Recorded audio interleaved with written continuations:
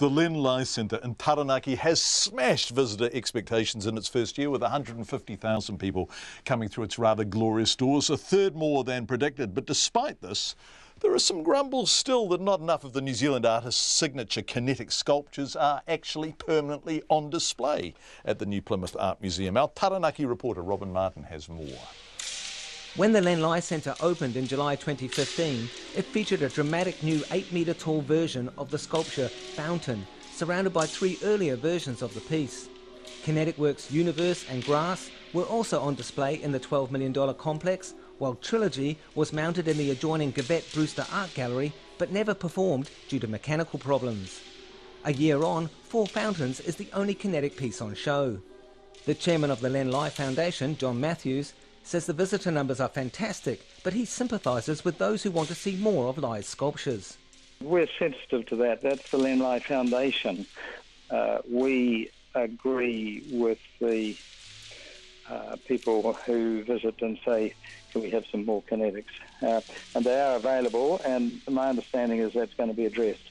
Mr. Matthews says what is on display at any one time is a curatorial decision and out of the Foundation's hands. Former councillor Lance Girling Butcher chaired the Len Lye Committee and is also disappointed more kinetic works are not on display.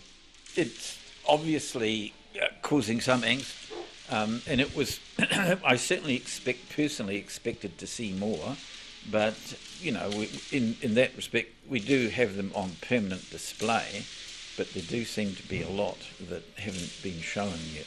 Mr. Girling Butcher says the Centre's director, Simon Rees, has put on a fascinating program this year, regardless. When you appoint a director, it's a bit like pointing the captain of the ship. He, he is the man who calls the tune, and I presume that Simon has some good arguments for the number that he's got on display.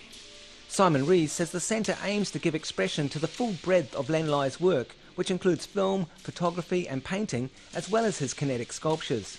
He says it's not realistic to have all 17 of Lye's existing sculptures on display at once.